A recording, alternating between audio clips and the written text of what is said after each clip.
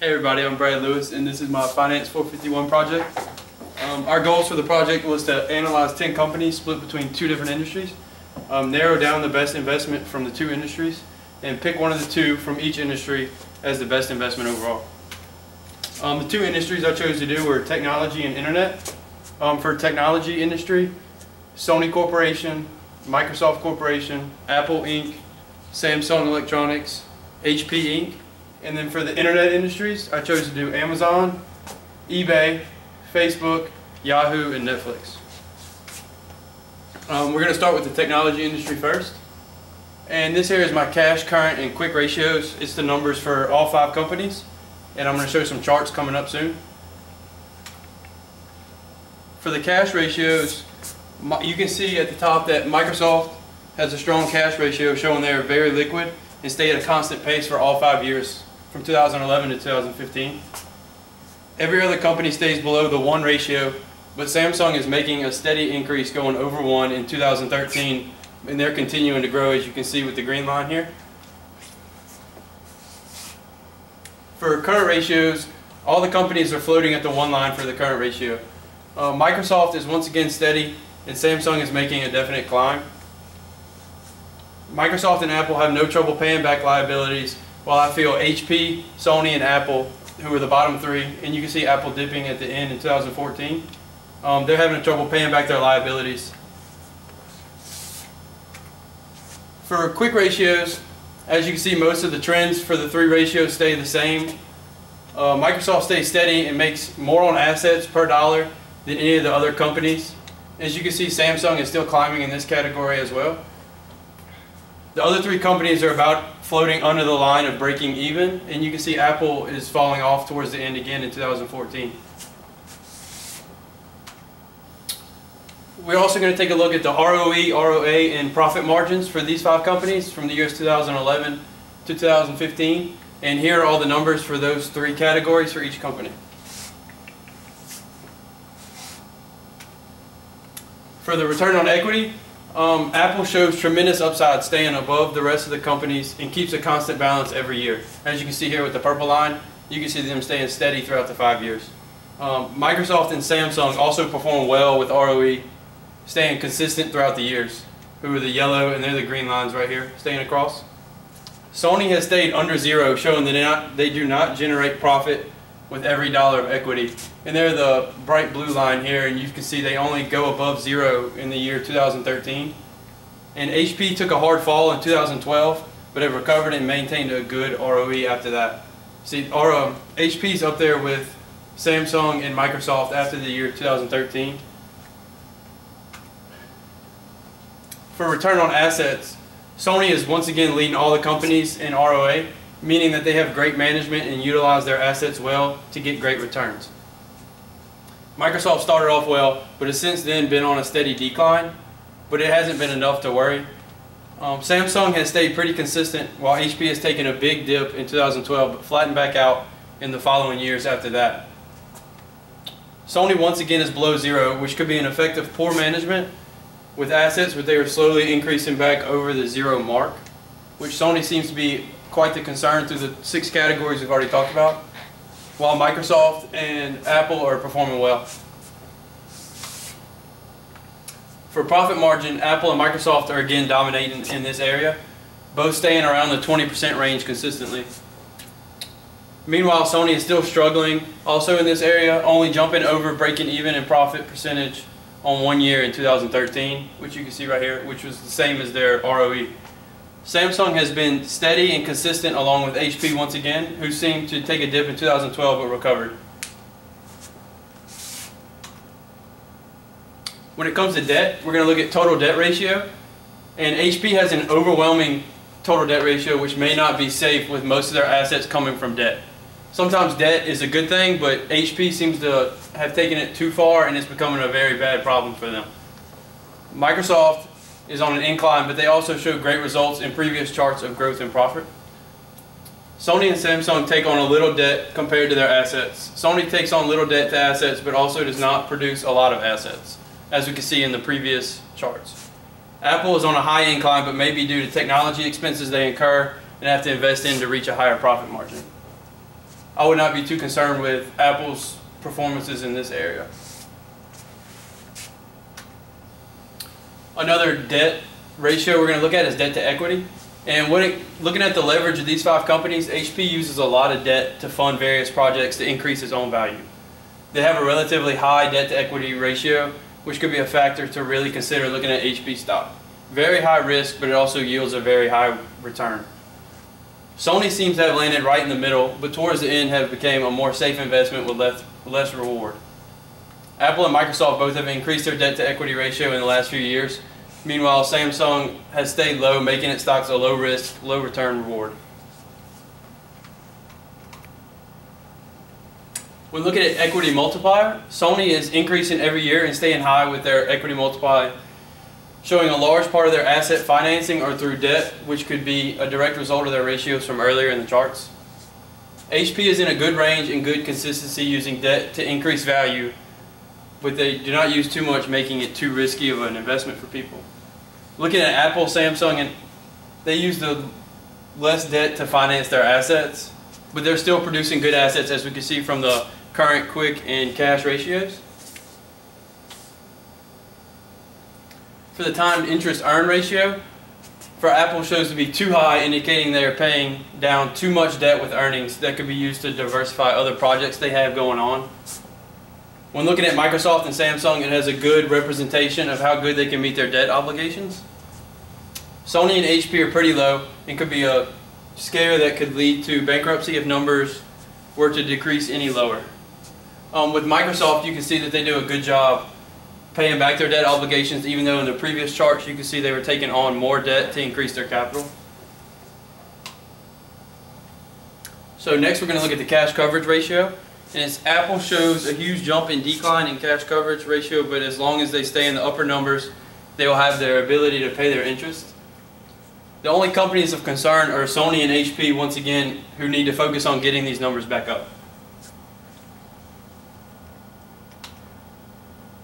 Another important factor to look at is total asset turnover. Looking at Apple, Samsung, and HP, they are all floating around the same total asset turnover, showing they're generating more revenue per dollar of assets than Microsoft and Sony both. Sony and Microsoft are much lower on total asset turnover, but not always necessarily a bad thing. But when comparing them to companies in the same industry, it could be a place of concern. Um, next, we're going to look at price to earnings ratio. Microsoft and Sony really are doing well with their price to earning ratios. As you can see, they're both climbing, even though it shows Apple falling off. And they're expecting high earnings growth in the future. So investors are picking these two companies to expect higher earnings than what they're earning now in the near future. So that could be a good lead towards a good investment. Apple and Samsung are falling right in the middle and staying pretty constant. HP may be of concern with them fluctuating so much. Investors may have a hard time figuring out what they are willing to pay for for earnings.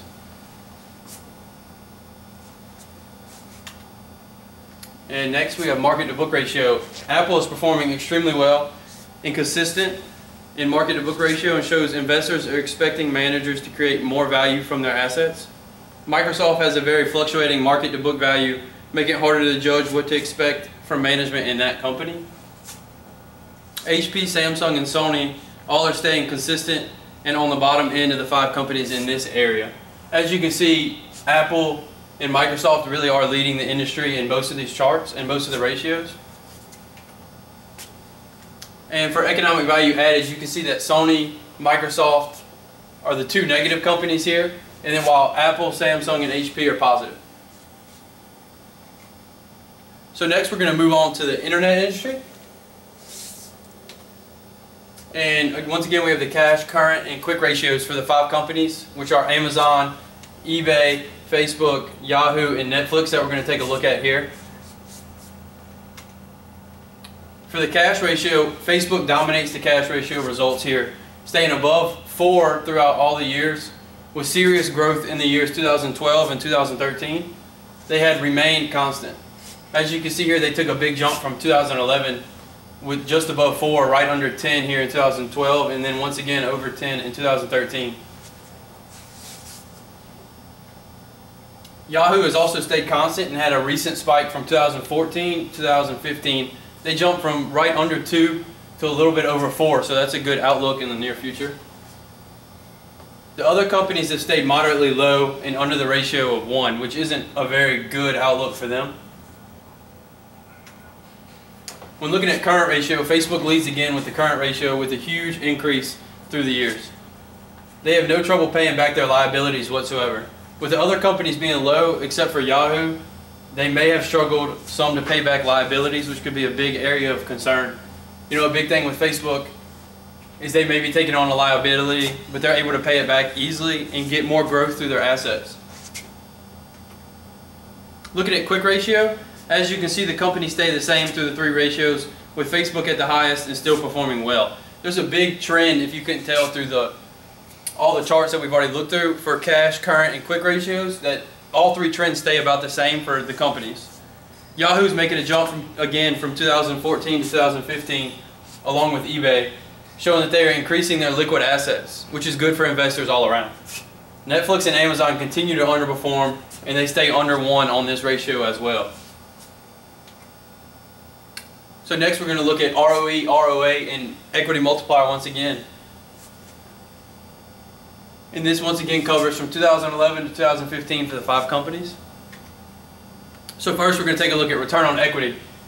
All the companies here seem to stay pretty consistent with each other throughout the five-year span. Netflix started extremely high, but since then fell off and flattened out to a good level. Now as you can see, Netflix here is this orange line, and they started right below 50 but they've fallen down to in between the 20 and 10 range, and they stay pretty consistent there. With them being a newer company, Netflix hasn't been around as long as these other companies on the list, so all their numbers are going to be a little more spiked and different. Yahoo has fluctuated each year, and then in the recent year of 2015, they actually fell below into the negative.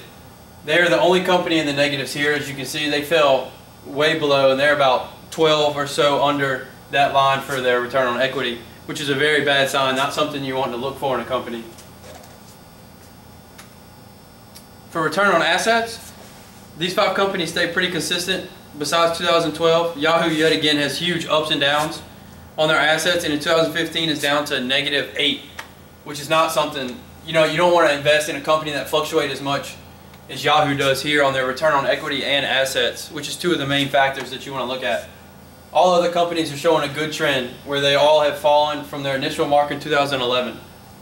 Amazon is just floating above the zero line, so that might be an area of concern that you haven't seen any growth from them from 2011 all the way to 2015.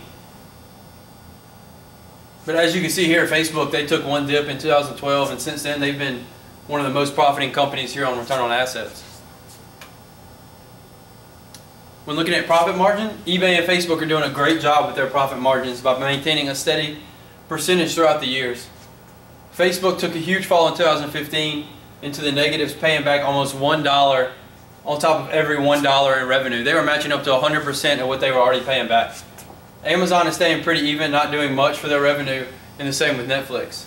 But as you can see here, eBay and Facebook both, they're getting way more back on their $1 than they were than every other company on the list. So moving on to debt, another you know another big category you want to look into when analyzing companies to get your leverage and how much you know they're taking on and not to resent false information on their assets. Amazon and eBay have been on a steady increase using more and more debt towards their assets as the years advance. Which I mean that could be two different things. That could be either they are falling short on assets and need more to make up, or that means they're growing and they're prospering and they're taking all more to be able to produce more. Facebook in 2011 and 2012 has minimized their debt and their assets through the years as they progress. Yahoo and Netflix have stayed consistent with their numbers through five years. Looking at debt to equity ratio, Amazon has an alarming increasing debt to equity ratio, whether they are taking on too much debt to increase their value or needing extra funds. It is a very high risk investment but yields higher returns eBay is along the same trend as Amazon, but at a more constant rate. You can see Facebook, Yahoo, and Netflix has stayed constant and low for the five years, making them a safe investment, which yields a lot less returns. Looking at equity multiplier, Netflix is consistently high while Amazon is on a steady increase every year after that. While the higher equity multiplier shows a large portion of their asset financing comes through the debt that they have. eBay, Facebook, and Yahoo are on the same path and staying consistent every year at the bottom here. As you can see, that was the same as the previous debt charts that we had going on.